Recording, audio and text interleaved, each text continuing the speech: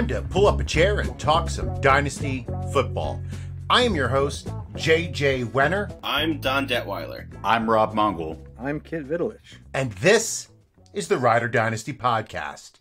Tonight on the show, we are continuing with our ride or die players. These are the players in each round per sleeper ADP about whom we have the most confidence. We will also have a lightning round of the players in the top eight that we have the least confidence in. But before we get to tonight's show, do me a favor. Give us a follow on Twitter at Ride or Dynasty and check out our website, rideordynasty.com, for all of our latest articles. Now, on last week's podcast, we went through the first four rounds of Sleeper's Dynasty Superflex ADP. Thank you to Sleeper for sharing that. If you missed last week's podcast, I suggest listening to get our picks for the top four rounds.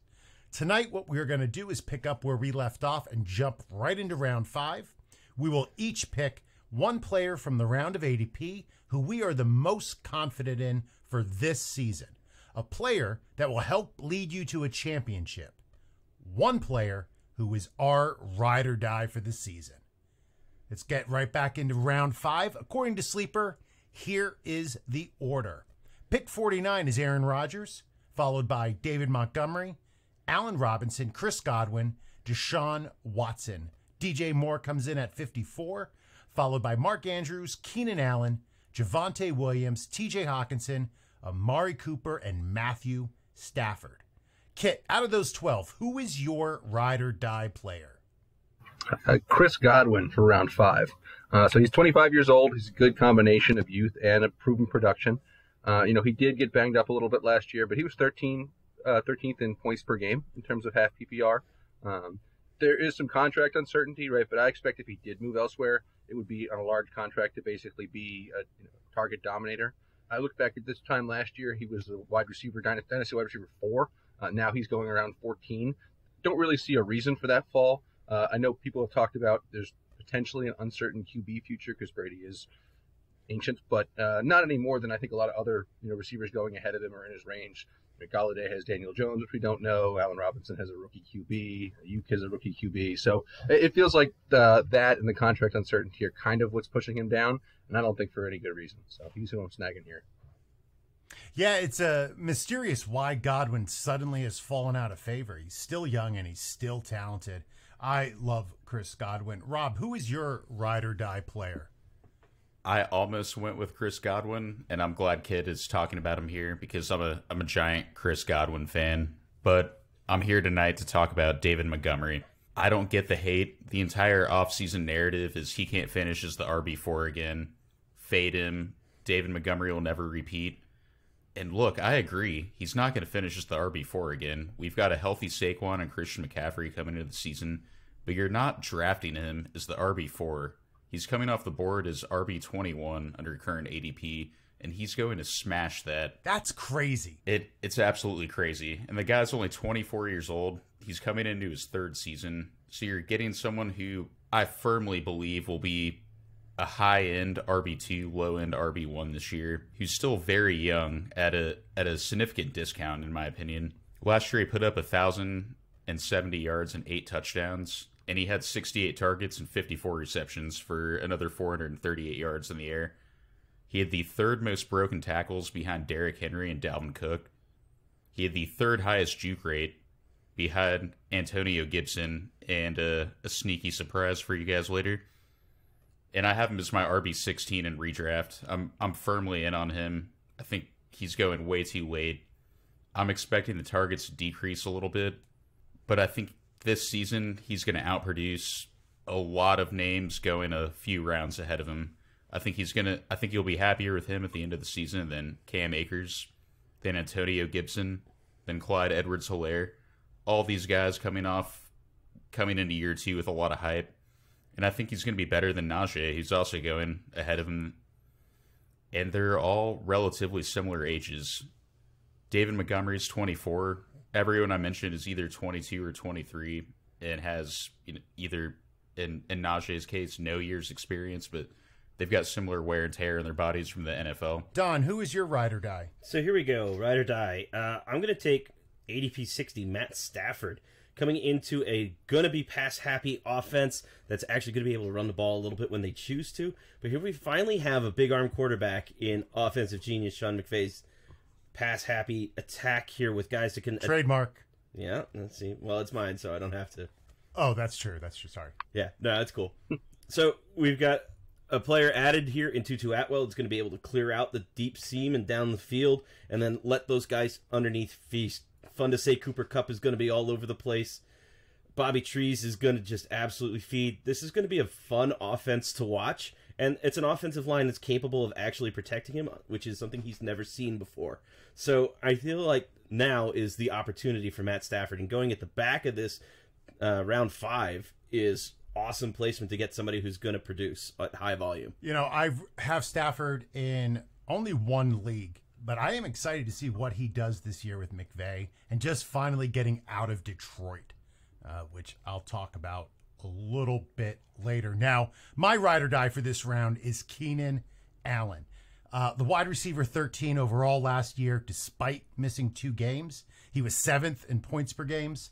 Um, over the past four years, he's averaged 147 targets, which was the number he had last year with Herbert. He is still the wide receiver one on the team. He's paired with a phenomenal young QB uh, in Justin Herbert. I don't see him slipping outside of getting injured uh, for the next three to four years. So in the past four years, he has finished 13th, 6th, 12th, and 3rd. I'm going with Keenan Allen. And all day long, I would be happy to put him in as my wide receiver one on a team. So Keenan Allen is our my choice. Now, for the first time, we all chose somebody different in this round. So just to recap, Kit, you went with Chris Godwin. Rob, you went with David Montgomery.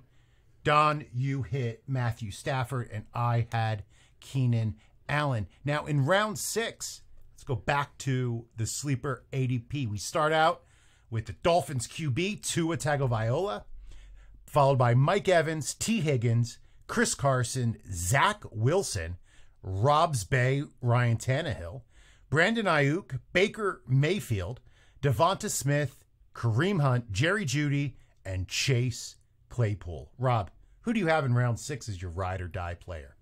Oh, you already know who I'm going to pick, JJ. You already know. My round six pick is Ryan Tannehill. I don't understand the hate.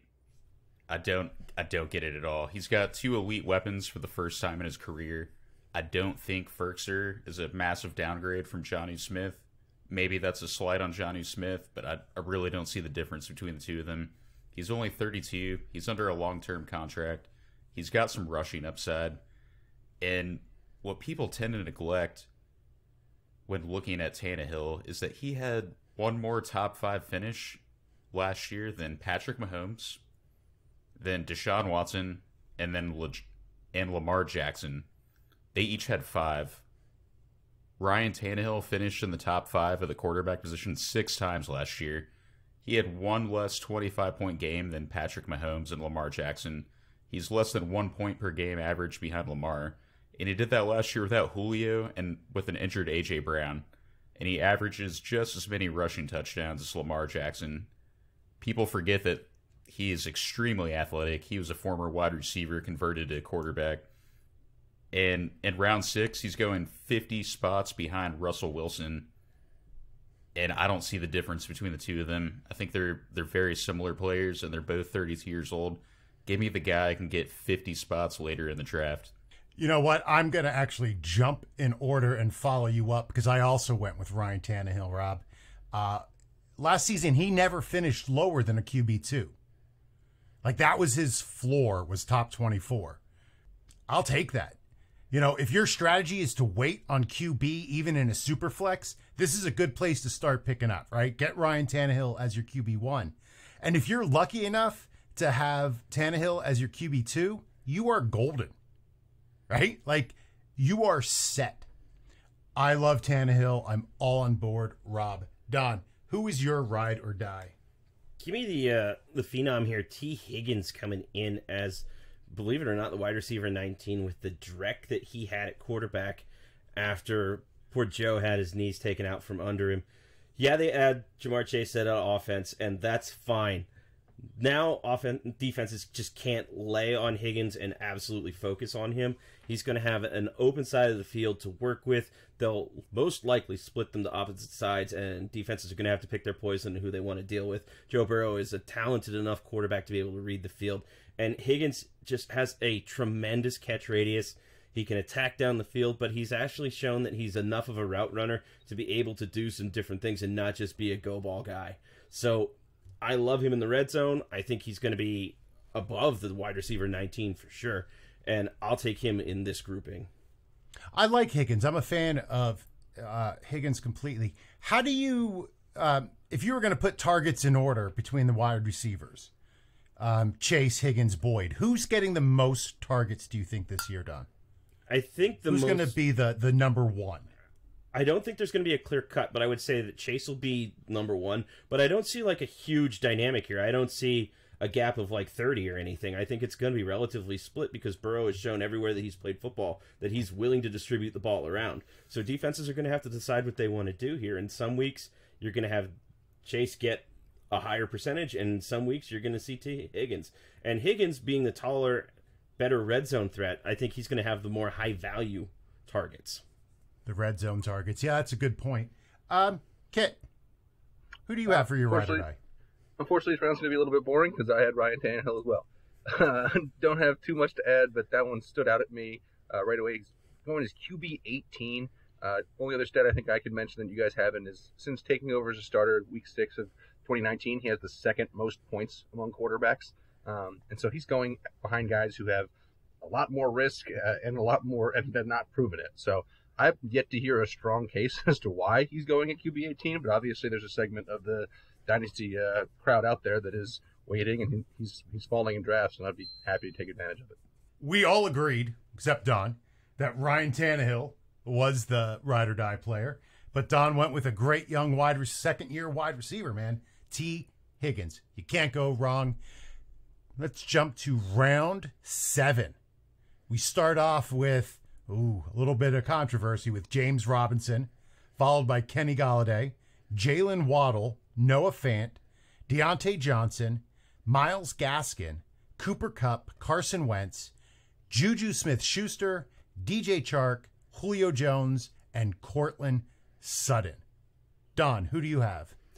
Call me Homer all you want, but I'm going to go with Diontae Johnson here. I absolutely love everything he brings to the Steeler offense the guy gets covered up in targets. Roethlisberger absolutely loves him, and with the dynamic uh, potential here with Smith Schuster and Claypool added to that offense, he gets to work out of the slot where he's an absolute technician and with a will be charitable uh, kind of not so wonderful offensive line here.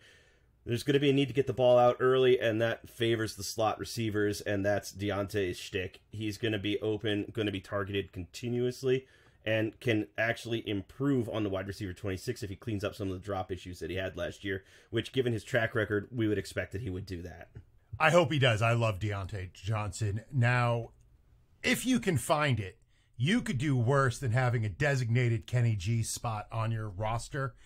After an injury plagued year in the football hell called Detroit, sorry, Ryan, uh, Kenny Golladay has moved to New York to fill the giant hole the team had at wide receiver. Now, he's a true number one receiver. Kenny showed what he could do in 2019, posting over 1,100 yards and 11 TDs for a terrible Lions team.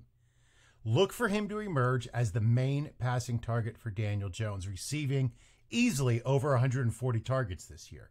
Remember, it's the volume of targets that matters. He's able to convert them, and he gets the high value red zone targets because of his size.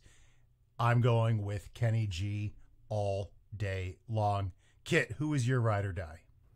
I went with Diontae Johnson as well. So just to add a couple of the specifics, uh, he was eighth in the league in targets at 144, despite t- essentially playing 13 games. He had two games where he played less than 20% of the snaps and one game that he missed. Uh, from week seven on, he had 10 or more targets in eight of 11 games.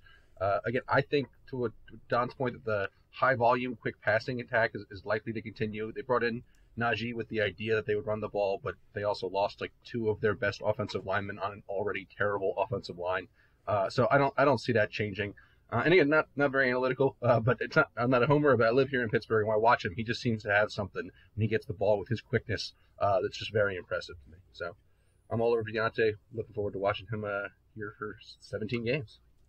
All right, let's go to round eight.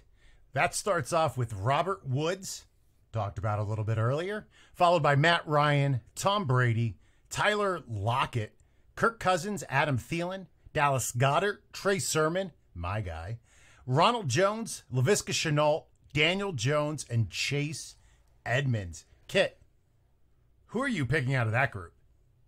I'm taking Bobby Trees. Um, some of the reasons uh, mentioned before about uh, about how we expect that offense to improve. Um, but he's been top 14 wide receiver in PPR at least three uh, the last three years. He's not old at 29. Uh, he seems to have a skill set that I think will age well. You know, he's based on technique rather than really raw athleticism. Uh, should have the best quarterback he's ever played with in his career. It was terrible in Buffalo, and uh, Jared Goff is. You can have different opinions, but he's worse than Stafford. Uh, and I think other people like Van Jefferson will take some of the vacated targets, but between Josh Reynolds and Gerald Everett leaving, there's 147 targets that are, that are open, and that's if they don't pass anymore. Uh, and then another nice little bonus about Robert Woods is since he's come to the Rams for three straight years, he gets between 100 and 150 rushing yards and a rushing TD or two. It's not that much, but it kind of sneakily, when you look at his receiving yards, like, how is this guy top 14 and he's getting the, you know, the extra 20, 30 points? Um, you know, the same offense happened for three years in a row. I don't see a reason to think it wouldn't continue uh, this year. I've got Tom Brady. I mean, who's going to slow this offense down? Not even Father Time can beat Tom Brady at this point. I don't care if he's 44. I trust at least two more top 10 seasons from Tom Brady. This season, he has Mike Evans, Chris Godwin, Antonio Brown, Gronk, OJ Howard, and then amazing depth behind those five guys Cameron Brate, Tyler Johnson, Jaelon Darden, Scotty Miller. The only thing that can slow Tom Brady down this off this season is their defense. It's the only thing. I have Tom Brady statted out at leading the league and neck and neck with Patrick Mahomes with 5,200 passing yards, and I don't think that's absurd. It's about a, a 500, sorry, it's about a 310 passing yards per game pace and I've also got him statted out for 42 touchdowns. And you know what he did last year in one fewer games? 4,633 and 40. He's got an extra game this year. How is he going to do worse than that year two in a Bruce Arians offense with a healthy wide receiving corps and hopefully a healthy OJ Howard and a Gronk that's finally in NFL game shape? I understand he doesn't have the rushing upside, but I don't care. He's also going to turn the ball over a lot less than the guys that do have rushing upside. He's going to limit every negative aspect of his fantasy score. I'm not projecting him at something he can't do. I'm barely giving him any more touchdowns than he did last year. He's only gotten more familiar with this offense. I don't understand how the numbers don't go up. You know, uh, I am not somebody who generally will agree about Tom Brady being phenomenal as a Jets fan, of course, but oh, I hate the guy as a person, but um, man, I want him for fantasy. And he did. I mean, I don't know if anybody saw the story today that supposedly he was playing on a partially torn MCL all last season. Now, of course, that's Brady saying that because nobody loves Brady more than Brady. Um, but sunscreen companies hate him. I don't understand that. Oh man, uh, I'll gladly unwrap that. So um, Tom Brady does not believe in sunscreen. He believes if you stay hydrated enough, you cannot get a sunburn. Amongst many other weird ass beliefs that Tom Brady has, we could spend a whole podcast just going over Tom Brady. Oh, I would love that. You know, just as a reminder to all the listeners out there, football players are generally dumb. Just because somebody's a great quarterback doesn't mean they have the slightest bit of actual intelligence. Um, ben Roethlisberger is a great example uh, of that. So remember that, Don. Yeah, as long as melanoma is a thing, make sure you wear your sunscreen. Uh, yes, please wear sunscreen. Please wear sunscreen. And you're right. When, when the goats competition in this bracket here is uh, what's left of Matt Ryan and a, a whatever Atlanta's offense is going to be, and then speculations with Daniel Jones and and Mac, Mac Jones. with an ADP of 88, you got to look at the GOAT. But I'm going to go a different way. I'm going to take Laviska Shenault, and as I generally try to avoid the clown fiesta that is the Jacksonville offense, the only nice thing that was ever said about a single wide receiver by that entire coaching staff was said about Laviska Shenault. They like his talent, they like his ability, they like his size, which is something they don't seem to like about anybody else there, which translates to targets. And yeah, they're going to throw the ball. They absolutely will. You don't draft the 1 1 quarterback and a generational player and don't let him throw. I think the majority of those passes are going to head Laviska's way, regardless of DJ Chark being hanging around.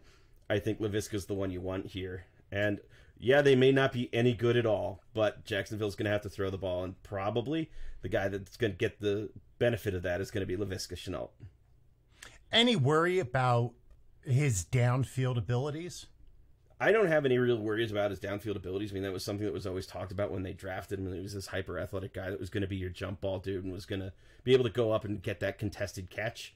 That's something that Ohio State and Florida always valued very highly with their wide receivers was contested ball ability. And since we expect to see something similar in terms of offensive scheme to those college programs, uh, he fits the mold.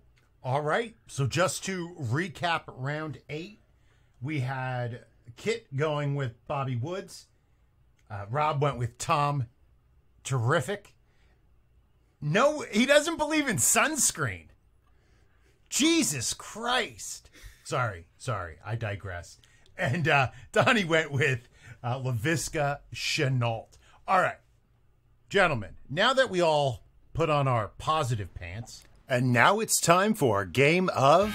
And I hate everything about you. Everything about you. That's right. That was some ugly kid Joe playing. These are the players that we hate everything about. We're going to go back through in a speed round format through sleeper ADP for each round and tell you the player we can't stand to be around, the players we hate everything about. Let's start with round one. Kit, who do you have in round one that you do not like? So I'll qualify a little bit. You can't really hate anyone in round one that that much, uh, but I don't like Alvin Kamara at his current ADP. Uh, I think uh, in the four games that Taysom started last year, he was on a 60 target, 40 catch pace. As we all know, he's gone for 81, 81, 81, and 83 catches, which is really the, the backbone of why he's so so prolific. Uh, you know, as as a running back, um, you know he has had TD success, right? And I do expect him to be on the higher end of that. But again, that's something that inherently does regress year to year, um, especially if you know, Taysom continues to get goal line touches. Maybe he's worked in more packages because he's kind of a, a bulldozer near the goal line. Uh, I still expect him to be good, right? But he's going to get ahead of guys who are 22 and has an unclear quarterback situation. Um, so I think I think I drop him down, you know, six or seven running back spots. Maybe maybe that's a lot, four or five running back spots. Um, and I don't want him in round one, that's for sure. That's interesting, and I know we received a lot of pushback um, as a group. We didn't have Kamara as high as we had in the past. There has to be concern about Taysom Hill, right? There has to be. Yeah, that's what I'm thinking. There's at least a chance, right? And he's not that's he's not being discounted against it at all. It doesn't seem. I mean, I would put it at 50-50 that Taysom Hill ends up as the QB. Uh, does anybody think it's it's leaning more towards Winston? That the beat writers don't even know. I yeah, I lean slightly Taysom. I think everyone wants Jameis Winston to win it. At least everyone in the fantasy circles, because it means so much more for everyone outside of Taysom Hill. But we have to come to the realization that Sean Payton loves Taysom Hill. Yep, exactly. Just like Pete Carroll and Chris Carson. Coaches have players that they love. Taysom Hill's the guy. For me, the player that I want nothing to do with this year, mind you, I'm saying this year, don't think he's going to have a great year, is the 1 1, Trevor Lawrence. Now, I don't know how the next few years will be for him, but I don't trust Urban Meyer as his coach. He should be fine long term, but we have seen great QBs with bad coaches get wrecked. As a Jets fan, I've seen a lot of QBs get wrecked. So, granted, most of them weren't great. But I can't see a high powered offense rolling out of Jacksonville this year. I have no faith in Urban Meyer, and I worry about somebody reaching for Trevor Lawrence at the end of round one and being so disappointed in what he actually is able to do in his rookie year. And I hope people don't hold that against him. But let's see how long he lasts with Urban Meyer. Does anybody have great feelings about Trevor Lawrence as a rookie? No, he would have been my sell. I don't think he finishes the best rookie quarterback this season. And it's exactly, you know, Urban Meyer, lack of rushing upside. I think he's absolutely a generational prospect, but this is not his year. All right, let's jump to round two. Uh, Rob, who did you have as the player you hate for this year? I don't hate him, but I don't want Russell Wilson on my fantasy team. He's inconsistent. He fades every year. Do we actually trust Pete Carroll to really let Wilson open up the offense this year? They say it every offseason, and I feel like it works a few games, and then Pete Carroll just feeds Chris Carson the ball. He wants to be a run first offense. I don't care if they got the passing coordinator from the Rams to come over and open things up, add a lot of pre snap reads in, or sorry, pre snap motions in. It's not going to happen. He finished as quarterback six last year, and that was off of an electric start. He finished the season weak. The last nine games of the season, his best finish was top eight. He finished top 12 three times. I mean, six times he was not a QB1, and you're going to take him in the second round. His other six games were 19, 19, 21, 28, and 14. I don't want that on my team. That hurts you as you get ready for the playoffs. That will absolutely kick you out in the first round. No, thank you, Russell Wilson. You know, I think a lot of times people look at the end of year numbers and extrapolate that they were evenly dispersed amongst the weeks of the season. But with Russell Wilson, you saw last year that he was front loaded. He started off as the QB1 and was looking like he was going to run away with it. And he did the same then- thing in 2019, which is the frustrating thing. It's a pattern at this point. It really is a pattern. And he's somebody who can get you into the playoffs, but never seems to be around when you need him in the playoffs. I can't disagree with you on that one, Rob. Don, who do you have in round two? Somebody you do not want for this year. So my round two that I want no part of this year's, I want no part of DeAndre Swift. I have zero faith in the Detroit offense as a whole.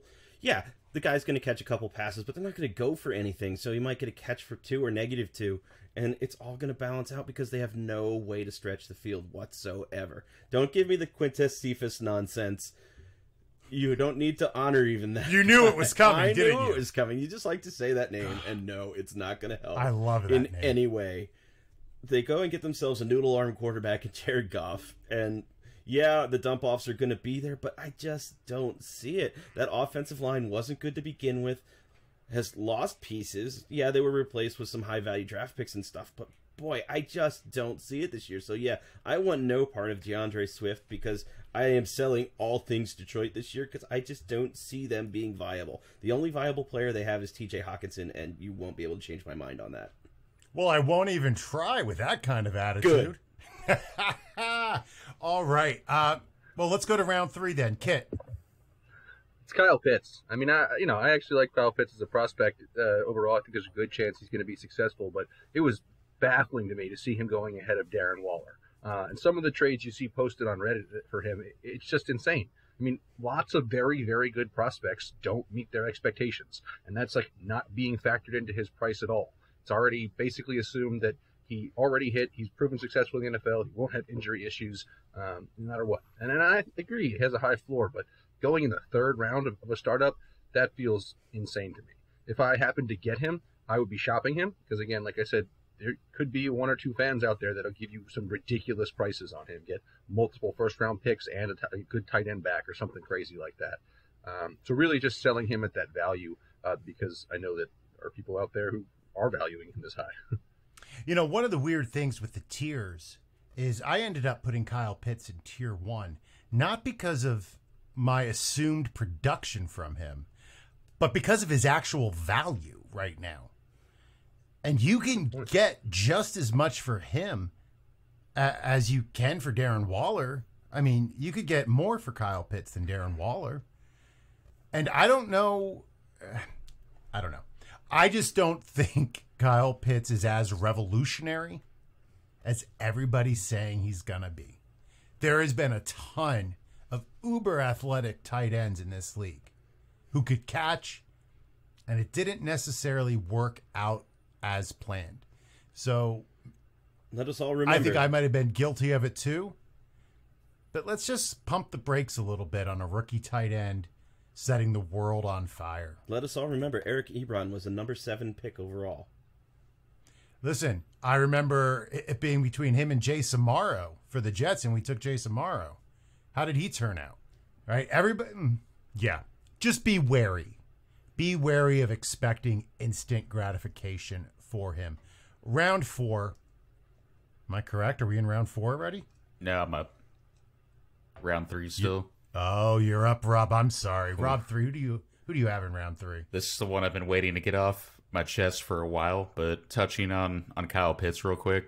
He's the wide receiver two in Atlanta, and I think he's absolutely a fade because of that. Teams are going to put their jumbo quarter on him or their best coverage safety, and that's something he did not face in undergrad a lot. That's he's not been up a, against a whole lot of NFL corners or safeties. I would temper my expectations, but he's absolutely elite. But my sell for round three is keeping it in the tight end position, and it's George Kittle. Sports Injury Predictor gave him an 89% chance of missing time this year with injury. He missed eight games last year. He sprained his knee in the opener.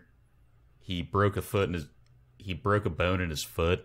And I'm a little scared. I'm a little scared. It seems like everyone in San Francisco has injury problems. I don't know if it's if they need a clean house, maybe go hire Kyle hire Kyle as a as a therapist. But something's going on down there. Everyone seems to be injured, whether it's Jimmy Garoppolo, George Kittle, it doesn't matter. And I think this is the last year you can trade him as an elite tight end. If if he's injured this year, he will definitely take that injury prone tag and carry it with him for the rest of his career. And there's question marks at quarterback. There's some develop there's development at the wide receiver corps with Aiyuk and Deebo. If he doesn't put up a top three season this year, he's my tight end six next year. I think Waller, Hawk, Pitts, Andrews, they all overtake him. And this is the highest you'll ever see him in a startup draft again. Wow, I couldn't disagree with you more about Kittle. I I have learned by listening to our injury people over the years, from Nick to Kyle to Eric to Matthew, uh, all the guys on Next Man Up, that there's no such thing as injury prone. He was injured, he's healthy, and I believe in George Kittle this year. I happily sold him for TJ Hockenson plus this offseason in one of my dynasty leagues, and I love it. I love it. I, I would say, yeah, Rob, at least make one point, you know, putting aside whether he's more likely to get injured or not. If he does miss four games this year, he's going to be, the perception is going to be there. The value would never be able to get what you get it for him now. I definitely agree on that. That is correct. I agree with you there. When he plays, he's the tight end three at at worst. Maybe I would rather take Waller a few picks later, but he misses so many games, so many games. he plays in a very violent manner. So I, I can see maybe that being a little bit sticky. All right, let's go to round four. Kit, who in round four do you not like? Josh Jacobs. Uh, I am out on Josh Jacobs, basically. And I, I think I've seen that that's gone maybe too far. I might, even compared to other people, not be out on Josh Jacobs. But in round four, I'm still not touching him. He wasn't very efficient last year. Um, they ended up cutting like two thirds and some of their trading some of their best offensive linemen. Uh, he really finished where he did last year, which I believe was running back eight standard because of a high TD rate. Uh, now they like to use him there, um, but they don't have the most prolific offense, so I wouldn't like expect him year over year over year to be a, a high touchdown guy. Uh, he came in and theoretically has pass catching skills, But for whatever reason, Gruden has no interest in using him that way. Uh, they brought in Drake now, who I think specifically is going to be used in those instances. So he had 29 catches last year. That seems like that's a close to a ceiling for him if the offense goes as I expect. Uh, and then he's tough, but he's been banged up, missed games each of the past two years. Not major time, but seems like he always has some, some nagging injury. It's kind of kind of hanging out there.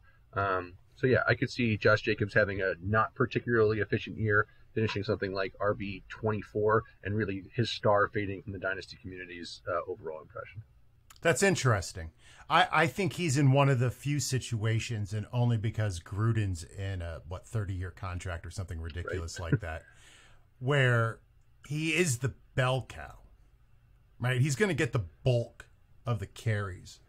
So that's the only reason I wouldn't fade him is because of his his situation. So I would say I think he has a pretty high floor, right? And I- and I mean maybe I said something like RB 24, maybe it's more like RB 18 or 20, right? Um, but yeah, I also think that I mean they paid Drake significant money for a running back. Uh, I don't think that should be completely discounted.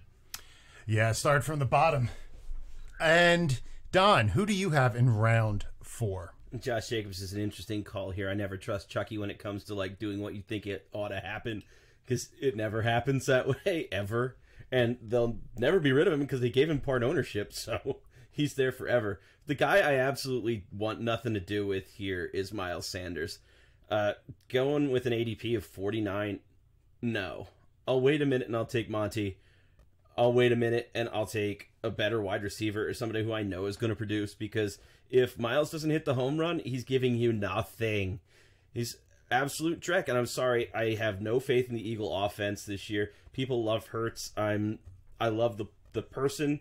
I don't necessarily love the quarterback that's going to be on the field, and I don't really have any faith in that offensive line. So when you put a, a running back in there that's already had problems and always seems to have these soft tissue things that indicate that he's not really handling his business the way he ought to in terms of his preseason prep, that just screams a lack of maturity on the player's standpoint and leads to a lack of longevity. And I want nothing to do with Miles Sanders this year.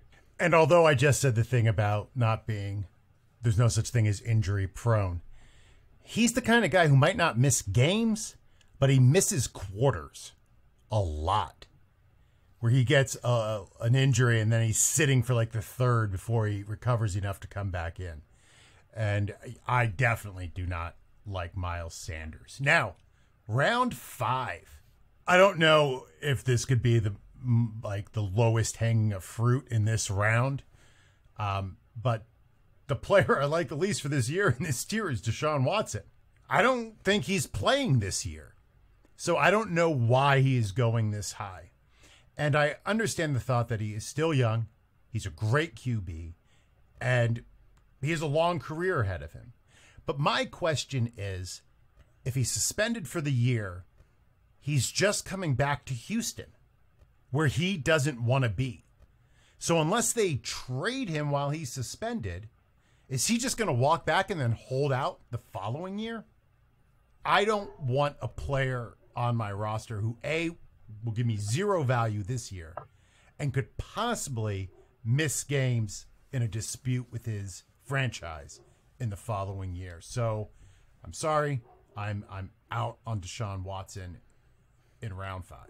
Have you seen that? Um, sorry to put you on the spot here, JJ. It came out yesterday that apparently the Eagles have inquired about Deshaun Watson.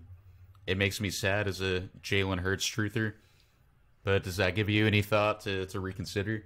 I think No. actually the specifics of that were pretty weird. It was like Adam Schefter on a Philly radio show Right. saying he thinks they're in the best position to do that, and it was unprompted, so maybe it's based on something. I believe- But like when I actually dug into the quote, it felt a little more ambiguous. They've got three Yeah. first rounders next year. Correct. Yes. could do it. So Right. I think whole- that's what that was based off of, and not the fact that the Eagles have shared an interest in using those three picks to get Deshaun Watson. So, and I still don't know how I would feel if he went to the Eagles with Howie Roseman. I mean, living in the Philly area, Howie Roseman is probably the most hated guy around. The worst GM in the league for the second worst GM in the league. Uh, there's there's a few bad ones, but he is definitely definitely up there. Anybody have anybody in round five they want to share? I saw Yeah. it was alone. Yeah, Don. Who do No, you have? I'll go with it. Uh, just on the Watson thing, though. I mean, it is with a team that has the potential to have three first round picks, we have to wait and see how much Carson Wentz plays to see if they get the one from Indy or not. Uh, it would be dereliction of duty on their part not to at least make a phone call and just see where they're at. It's still the, the whole point of you're holding a guy for at least a year because the league has made zero comment, and you know the league has its own court and system about what's going to happen in terms of personal discipline for all this stuff, regardless of whatever happens in terms of real court. So we wait to see what that's going to be. But the person I want no part of is I want no part of Amari Cooper. Amari Cooper is the king of breaking your heart. He will show up for three games, and God knows which three it is.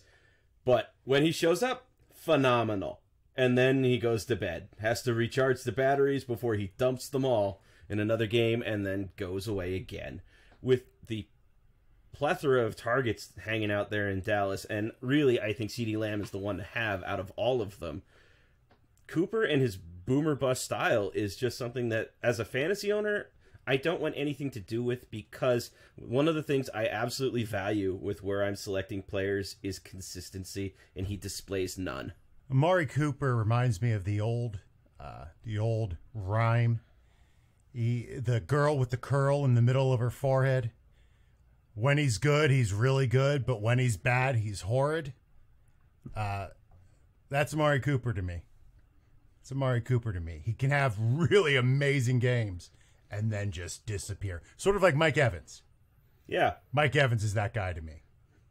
Like at the end of the season, again, his overall number is huge, but you have those weeks where he just kills you.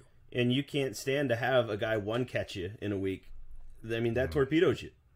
Yeah, that that kills your hope. All right, round six.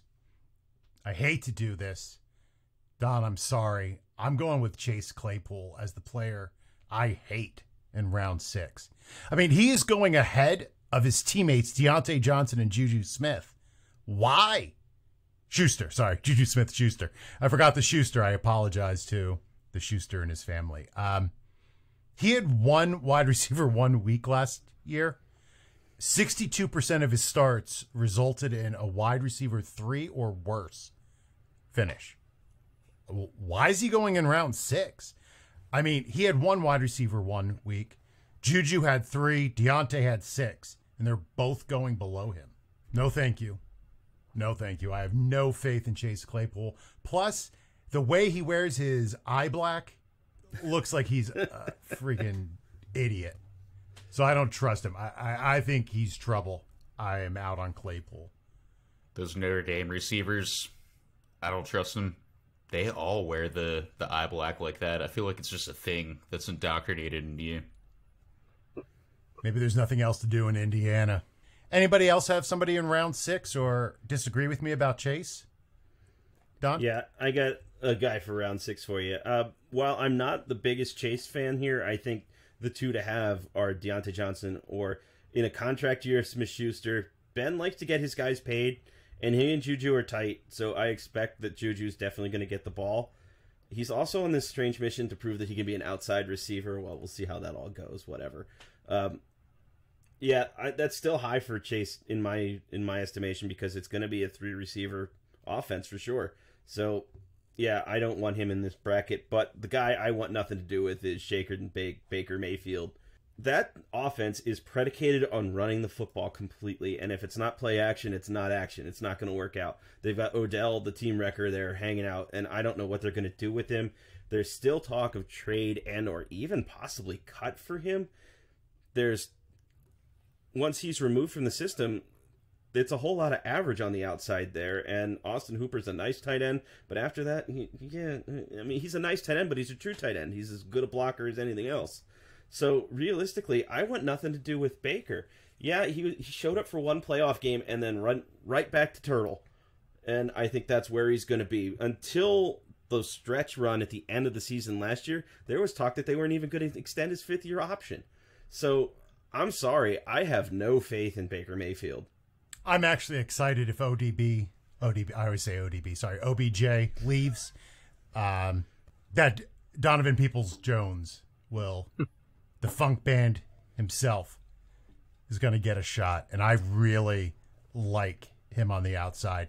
I was on a mission this this summer to get as many shares of DPJ as I could.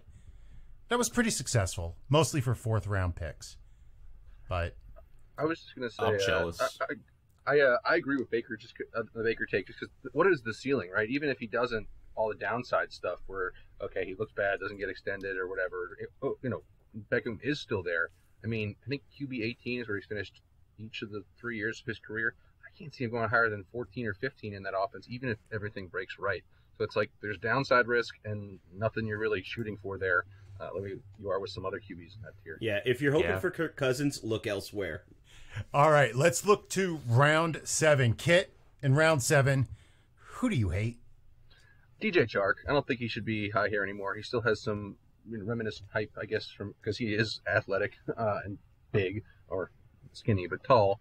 Uh, but I think he's the odd man out in the, in the receiving group. I think ETN's going to get scheme touches. They, like Don said earlier, you know, the one positive thing they said about receivers, and there seems to be a little bit of growing buzz from the, the beat writers, is that Shenault is pretty legit, and the coaching staff likes him.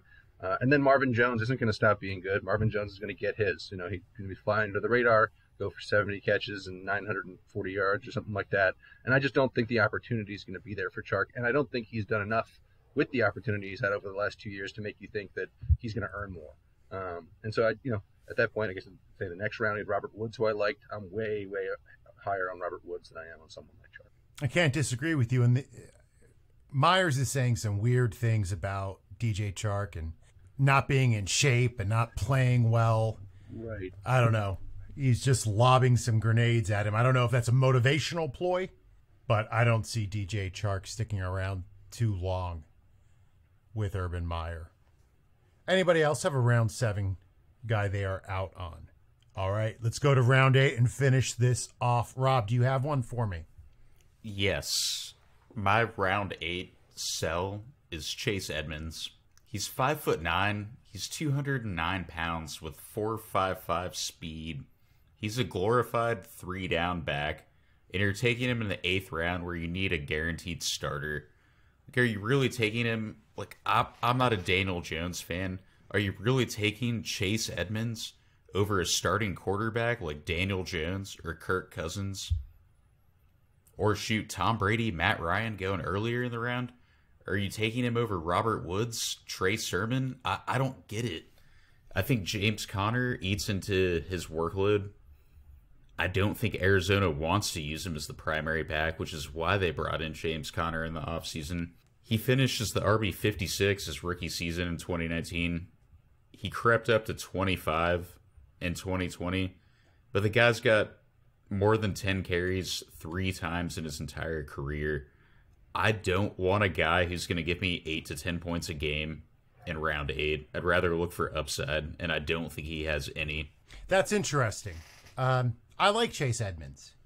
I don't know if I like him in the eighth round, though, and I, I think that's the point you're making here. There's a lot of players who I fall in love with because I was able to get them later in previous years.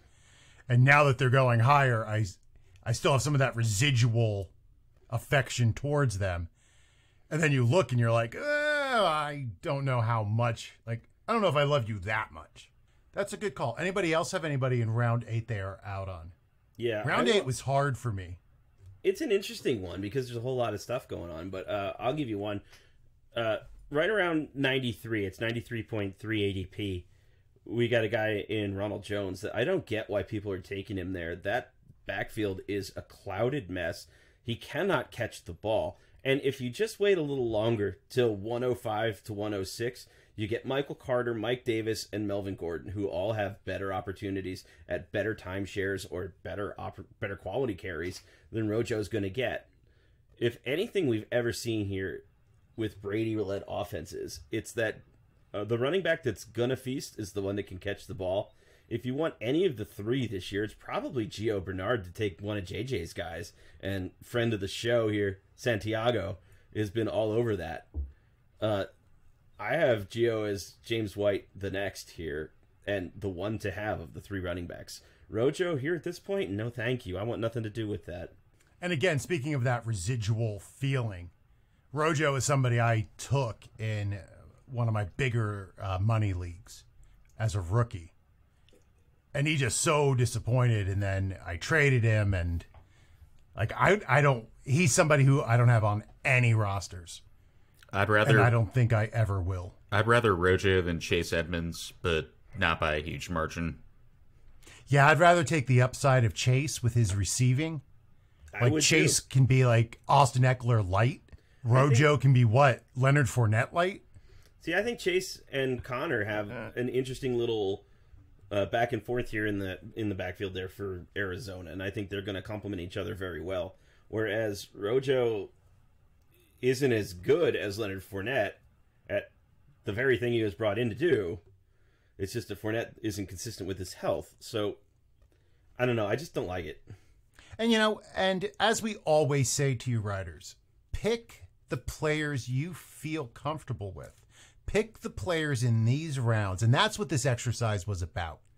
Is looking at the rounds of ADP and saying, who do you think is going to perform for you this year? Who do you like the most? Because at the end of the day, if you draft players who you don't like and then they don't perform, you're not only going to hate the player more, you're going to hate yourself for taking them right? I'd rather fail with a bunch of players I believed in than, well, I won't say than succeed with players I don't. I, I'd rather succeed with players I don't believe in, but I mean, let's be honest. But I'd rather fail with players I believed in than fail with players I didn't believe in. I already hate myself. I don't need to hate my fantasy team too. Gotta you gotta take who you want. Dude, you got to love yourself. If you don't love yourself, nobody else can. Nobody else can, buddy. That that that's my dynasty tip of the pod. Love yourself. That way you're able to love others too. But you don't have to love Chase Edmonds. You don't have to love Tom Brady either. He doesn't believe in sunscreen. Jesus. Do you know how many Irish people would be dead up in Boston if not for sunscreen? Like my entire wife's family. Half like they bathe themselves in sunscreen and then go to the beach for 13 hours. Boston people are crazy people. All right, it is time for tags where we let the riders know where they can find us and any final thoughts. Rob, why don't you kick us off? You can find me on Reddit and on Twitter at the Roto Rob.